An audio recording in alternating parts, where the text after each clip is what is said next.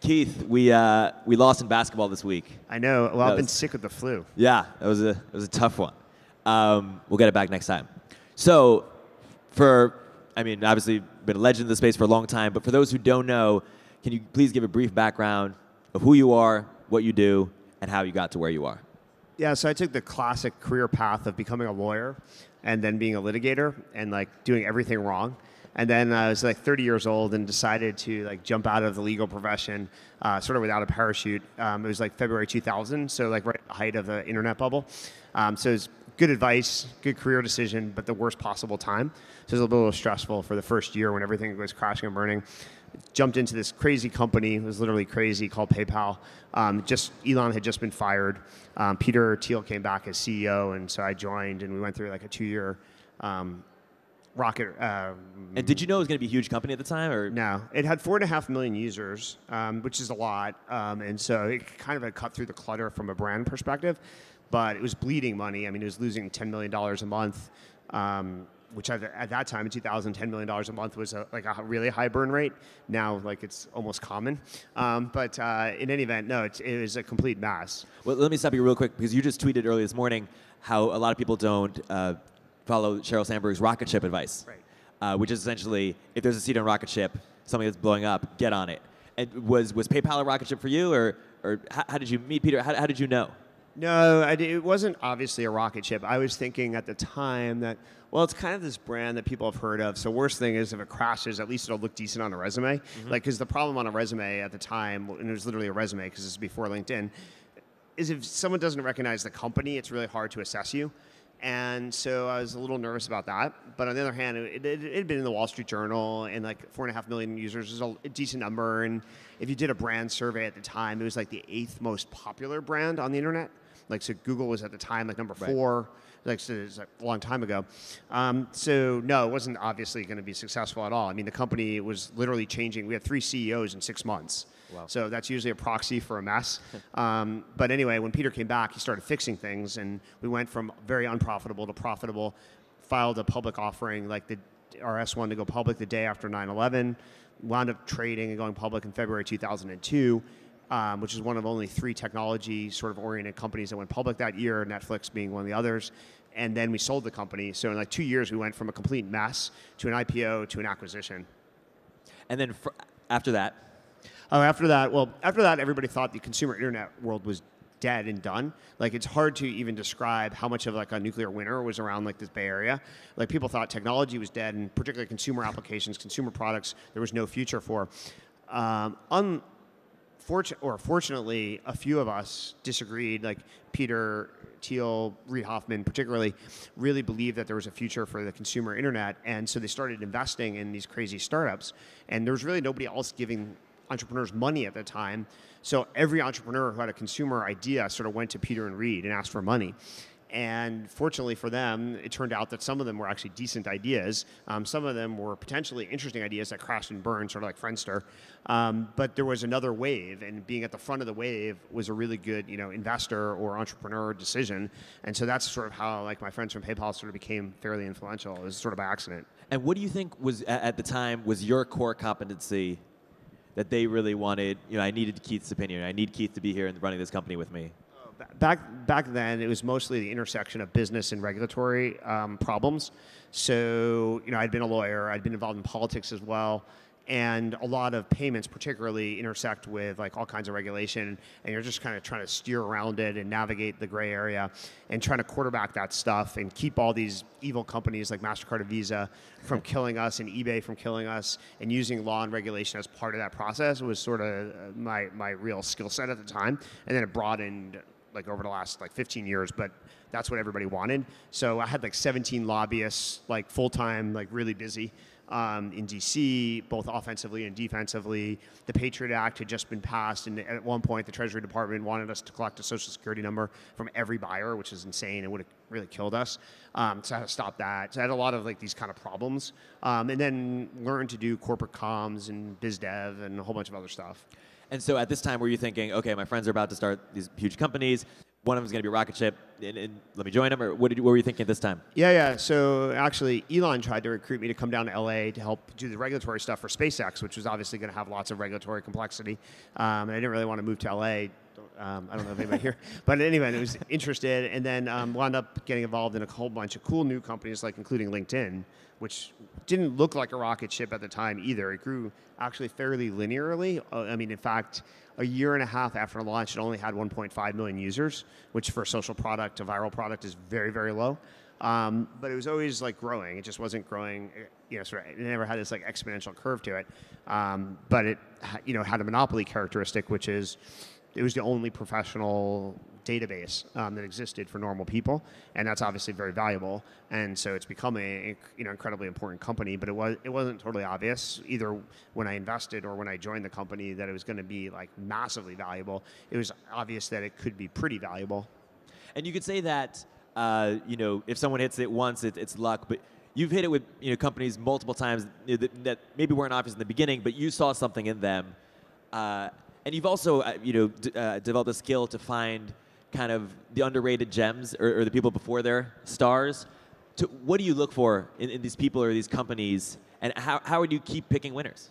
So the people stuff is different in the company side. Uh, people stuff, I'm actually working on a draft blog post about it right now because uh, it comes up a lot. Like everybody's running a startup wants to recruit people, so they always want to find people to recruit that are super talented, but you're not going to be able to recruit all the people who've established themselves, who've already accomplished things.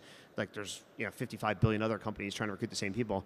So the part of the art, and this is the th- thing Peter actually taught me at PayPal, was how to find people that are undiscovered yet, and you've got to be able to do that at scale if you're going to build a company from scratch. Once you get enough momentum and you're one of the top 10 companies in the valley, you can recruit people with a magnet um, that have established credentials, but you've got to get there without that. And so I remember actually the first week I worked at PayPal going for a jog across the Stanford campus with Peter, and Peter explaining this whole philosophy to me.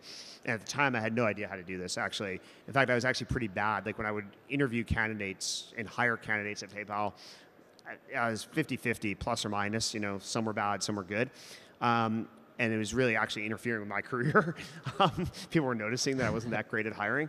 So what I started to do is to recruit individuals from within the company that I knew were stars and that maybe were underappreciated because that's a lot easier task like when you're in a building to look around the building and figure out who's really good that people don't always notice and then recruit them to my team and then make the team look really good and so that was the first technique was like figuring out people i was already working with who is going to be particularly good, which is also what led to a lot of good investments. Was a lot of these people started companies, and I was like, oh, can I invest?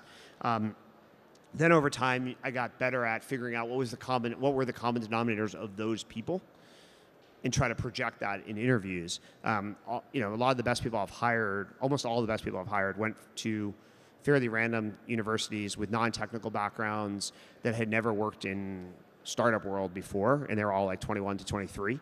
Um, so you, it's a little bit like drafting athletes, though you're going to be wrong a fair right. amount of the time. Like you know, it's first round draft picks. You hope that you're picking a future star, but you're going to be wrong. It's not zero defects. Like anybody tells you it's zero defects is, isn't hiring fast enough. And is it? Uh, are there personality traits? Yeah. That you're also looking for. The best blog post is what Paul Graham wrote. Um, like it's called "Relentlessly Resourceful." Um, I think that's the single best blog post on recruiting like people for a startup. I think there are other characteristics, but if you had that, you can build off of that pretty well. There was one example you were telling me uh, where something to do with uh, smoothies. Do you, yeah, the smoothie story. Um, so yeah, this is sort of online at the moment. So I had an intern at Square um, who um, his first day at work um, was like, "Well, what should I do?" And I was like, "Shadow me around, and we'll find some stuff for you to do."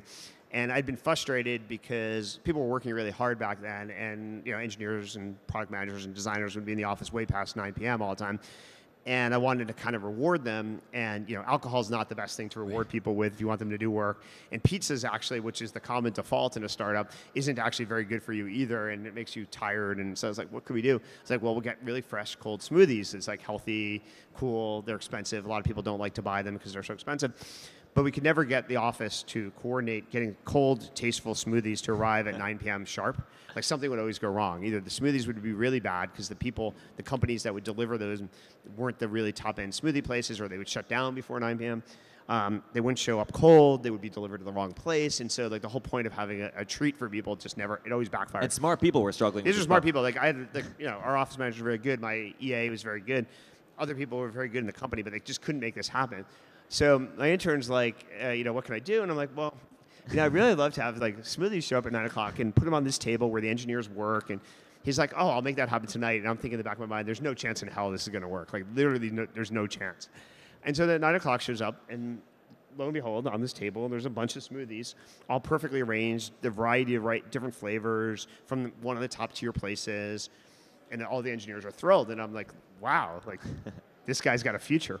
Um, so the point of this is that what you actually want to do is start with all your employees a fairly mundane task, and the people who thrive at it, you just increase the complexity and sophistication over time, like every day, every week, every month, every quarter, every year, until they show they can't handle something. And so you can find people in pretty random places that show this propensity of getting stuff done successfully and then constantly give them more and more complicated tasks and those are the people you build the company around Perfect. We're talking about people. Now let's talk about companies. We explain more about your tweet today. You know, Sheryl Sandberg's quote about finding a rocket ship, but specifically, what can people do to locate rocket ships, perhaps before they're rocket ships, or talk more about that advice. Okay, so you know, Cheryl, Sheryl famously talked about this actually advice she got from Eric Schmidt when she was considering joining Google, which is, if you find a rocket ship, don't ask what seat, just get on the rocket.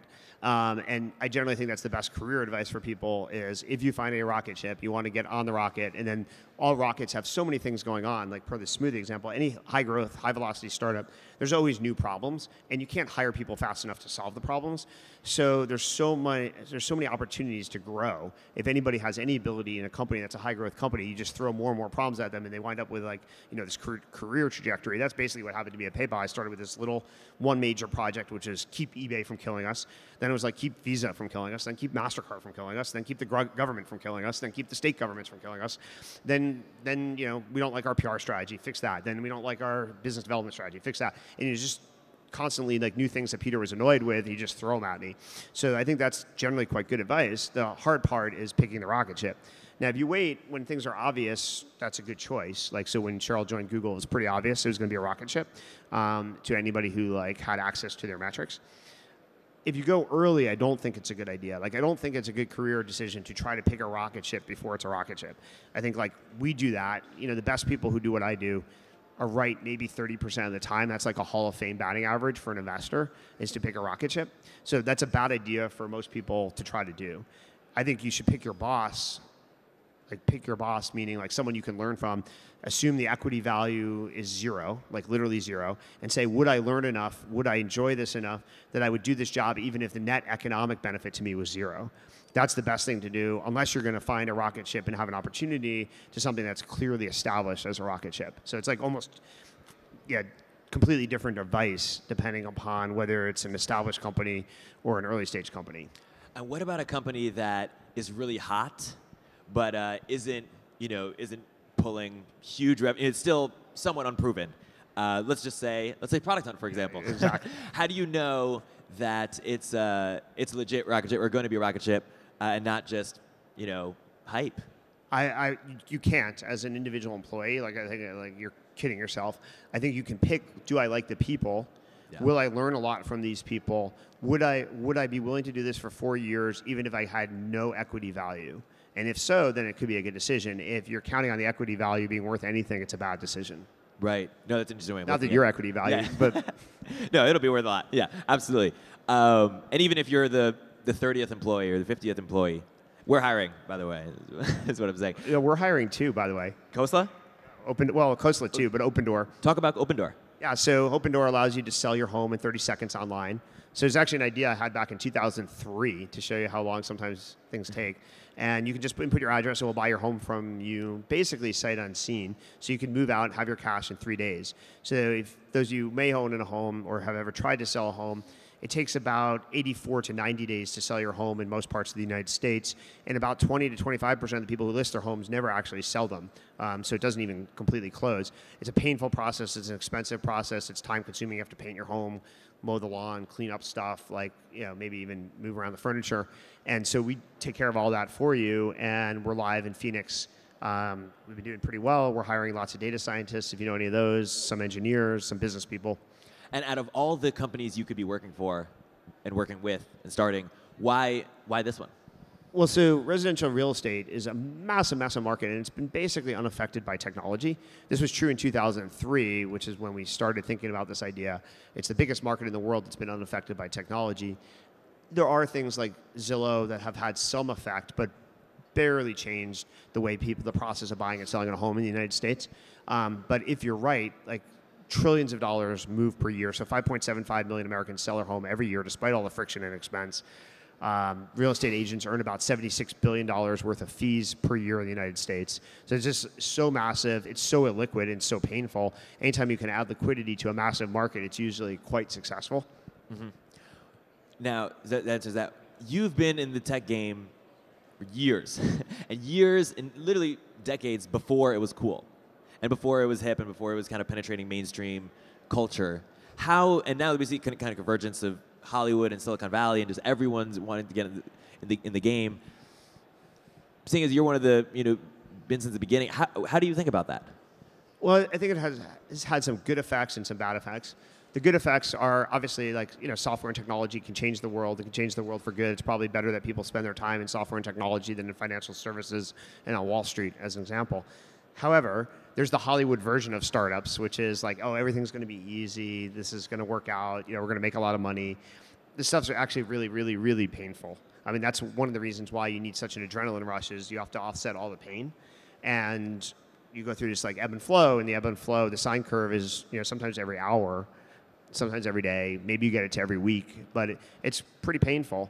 And so I think that the celebrity culture side uh, over the last I don't know six years is actually pretty bad um, and it attracts maybe the wrong people with the wrong motives to some extent. And how do you think moving forward, as tech kind of plays even bigger role in kind of mainstream culture, that will affect uh, politics or government? I don't don't know. Eventually, over enough time, there's an arc of history. Like you know, like there are like these long arcs of history, and eventually the the right the right result occurs eventually. And I think over time, technology and innovation will, will apply to government and decision making, but it usually lags by years and years and years, sometimes decades. So there's a long arc of history that quote unquote bends towards justice, is you know the famous quote. I think that's true. It's just not you can't accelerate that necessarily. And how ultimately, uh, five years from now, ten years from now, even longer, how do you judge your success? Um, mostly on people. Um, you know, people that have gone, been unfortunate enough to work with me and learned a lot really fast. Um, and what do, what do they wind up doing with their lives? Um, hopefully, you know, hopefully they've made a big difference. So far, so good. But yeah, it's like working through people. Like it's the best part of being an investor too, is yeah. you get to work with all these cool, talented entrepreneurs every day. It's almost like being a psychologist. Like you sit right. literally all day long. It's just sitting on a sofa like this. Some entrepreneur walks in your office, and you're like, uh, "So tell me your problems." Yeah. And then you have a conversation. Well, have you thought about this? Have you tried this? You know, blah blah blah. Hopefully, we don't prescribe any drugs, but basically, it's just like having a psychological, you know, therapist. And what do you think, uh, as this becomes more common, what do you think education is going to look like? That's another one that's like seems to you know ignore the arc of history for long gaps of time, but. Um, I think education will be radically different. I have yet to find a specific formula to invest in. Um, I, I tend to believe that credentials matter more than people realize. And so it's not just substance. You have to have an innovation on both the credential side and the substantive education side. And most companies have attacked one or the other. And I think someone will figure out how to cleverly fuse together a new credential, new brand that, that conveys certain things. Like, so for example, a lot of the reasons why people go to Stanford is the perception. It's right. not what they're going to learn there, even though they won't admit that publicly. But I think to break through in education, particularly higher education, you need to couple the perception with the reality that I actually am smarter, more thoughtful, more capable of doing X, Y, and Z. And there's a perception that that's true.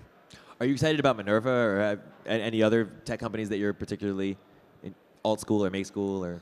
I don't know if any of them are quite radical enough. I mean, Nirvana is kind of cool and interesting, and um, it's intriguing because it is ambitious um, and capital intensive, and so right. they're not being, you know, they're not being wimps about it at all.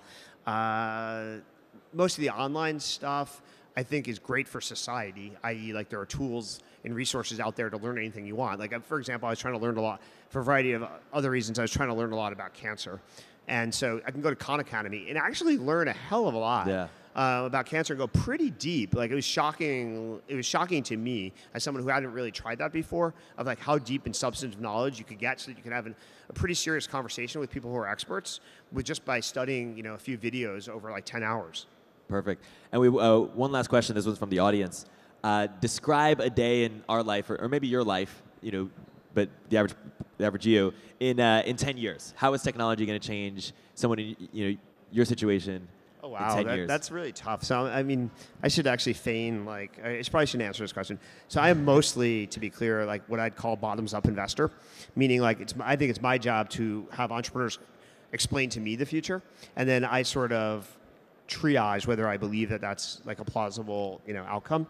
Whereas a lot of investors, including like some of my partners, are very much top-down investors, and they have a strong view about the future of the world, and then they go look for opportunities that are consistent with that view. So this stuff is really hard for me because that's not just generally not how I think. That said, what I what I do believe is that the continuing trend of math replacing humans will displace humans in almost every field. So, for example, we talked about Opendoor, which is really replacing human judgment about what a home's worth, either your home, your your judgment or your real estate agent's judgment, with like a machine. In healthcare, which is even more radical, I actually totally believe that doctors and human ex- doctors are just as foul- fallible as every other human expert, and that one day you won't talk to a doctor in terms of getting a diagnosis or for treatment. There'll just be some machine that calculates what you should do, and that's actually happening sort of under the surface right now. Um, that'll happen in every single field. Like I have an investment in the legal profession that one day maybe starts drafting briefs for you based upon what the most likely, you know, best rebuttal is so that humans don't really do much work. They do 1% of the work and the machines and math do 99%. And that, that'll be true in all parts of our society. Self-driving cars just as an obvious, easy example. How do you fix the loss of jobs? Don't, don't know how. Um, it's not... Space, Sorry? space, Mars. yeah, e- the next Elon project. Um, the uh, I don't I don't know. It's not it's not an easy problem. I think like if you looked at uh, one of the more thoughtful pieces, uh, Sam Sam Altman wrote a blog post recently about that and some of the implications and what technology changes tend to do to jobs. And it may take a while for that to shuffle shuffle through the system, but it's not like you can just prescribe a formula from above and say, Yeah. here's the future of everybody's jobs that are displaced by math. Right. Perfect. This has been a fascinating chat. Please, everyone, give it up for Keith. Thanks. Thank you very much. Thank you.